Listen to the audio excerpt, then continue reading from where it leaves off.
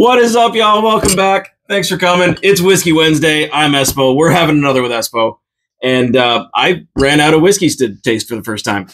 So we're not we're not doing a tasting today. We're just we're making a cocktail, but it's still Whiskey Wednesday. It's gonna be a whiskey cocktail. Um, yeah, I was looking through. Uh, I thought whiskey highball. That sounds like a that sounds like a fun one to make, and I'm I'm looking up the recipe for it, and it's just whiskey and ginger ale or whiskey and club soda, depending on how old school you want to be with it. And I don't feel like just mixing those two things together and going, hmm, refreshing. Okay, bye. That seems like seems like a little bit of a waste. So here we are. I was looking through whiskey high. I don't know why it stuck out. It was just in my head today. Uh, whiskey highball was just kind of sticking out, and it made me think of Winston Churchill. I did a quick Google. Winston Churchill whiskey, obviously synonymous. Whiskey. Might as well just Google Winston Churchill cigars whiskey because it's gonna be the same same kind of thing. Uh, but I found a Churchill cocktail, and we're gonna make one of those today because it sounds really tasty, and I've never made one. Um, well, maybe it sounds tasty. We're gonna find out because there's there's one dubious ingredient that maybe isn't up old Espo's alley.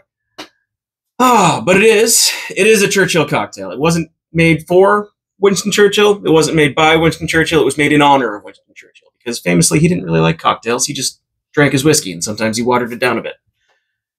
But it wouldn't be a Churchill cocktail if it wasn't made with blended scotch. We've got some Johnny because that is one of the two whiskeys I or one of the two Scotch whiskeys I keep on my bar. Johnny Red because it's perfectly good whiskey. It's perfectly fine.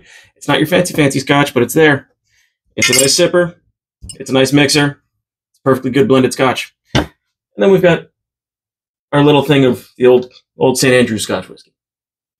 Pretty sure that's from the old course. From I'm eh, pretty sure my grandfather brought that back for me. Not 100 percent sure. It's been there for a while. Never opened it. But mm, yeah, smells good. It's Johnny Red. Ain't nothing wrong with it. Perfectly cromulent scotch, as I like to say. This is a shake and drink. So we're gonna grab our shaker cup. Fill that up with mostly not hand flavored ice. And we're going to do the thing that most bartenders will tell you not to do, and that is start with the most expensive ingredient, the scotch. We're taking an ounce and a half of blended scotch. Again, that's our Johnny Red. Put that to the side. Half an ounce of Cointreau. I'm sure any orange liqueur will do, but the recipe called for Cointreau and I had it, so we're going to use it. Half an ounce. In she goes. Lid back on. Here's where we get a little dicey. Half an ounce of sweet vermouth. Famously, for people who know me, don't don't love vermouth. Not my thing. Not really my jam. That was a full fucking ounce. This drink's gonna be a little messed up, but I'm okay with it. I'm here for it. Half an ounce. We're gonna pretend Espo poured only half an ounce of that in there. We can make it double. That'd be fun too. I want to make a double on a Wednesday. Mm, that's a lot of vermouth. But I want to make a double with a drink with vermouth in it that I maybe don't like. We're gonna fu- fuck it. We're gonna find out. Half an ounce. half an ounce on top. Oh boy. Another ounce and a half of blended scotch. This is why you don't do expensive stuff first, because you can't go back in time.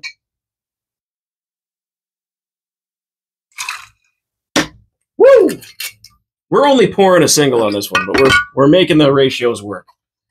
And now, half an ounce of lime juice, which means a full ounce of lime juice. I really hope we've got a full ounce worth of lime juice in this lime. Oh, I think we're in luck. Thank goodness for that. Oh, so Churchill famously loved his Scotch whiskey. That was somewhat predicated on the fact that he came into adulthood during wartime in England, which it always was, and in South Africa, where he was stationed. The water wasn't worth the damn drinking. So they had to temper that with whiskey. Pop that back together. We're mixing that together, shaking it until we're thoroughly chilled.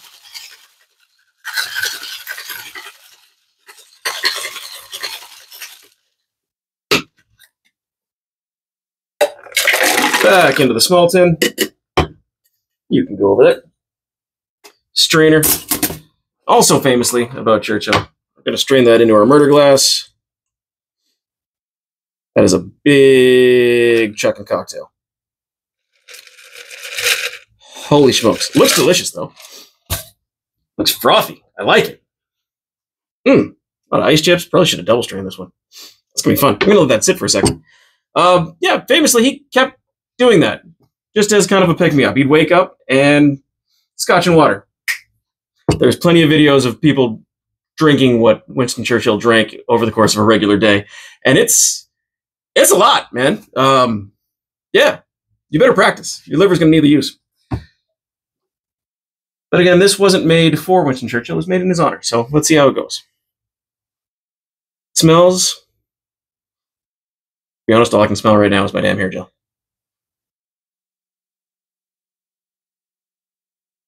That's okay. Okay.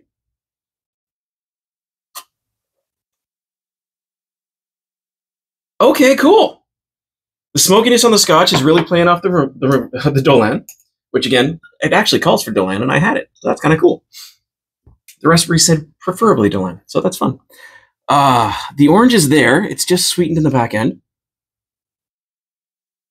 The lime juice is doing some work, man, because that is counteracting the Dolin a lot. And again, don't don't love vermouth. This guy, at least not with whiskey. Usually, in other things, I can kind of tolerate it, but that's oh man, that's that's kind of all right, man. I'm kind of into that. Again, the smokiness of the scotch is really coming through. Really hits you in the face. You know you're drinking whiskey. It's down a bit because it's obviously not just whiskey. The shaken aspect makes it all nice and frothy. That's delicious. Oh man, that's a great drink. Great times.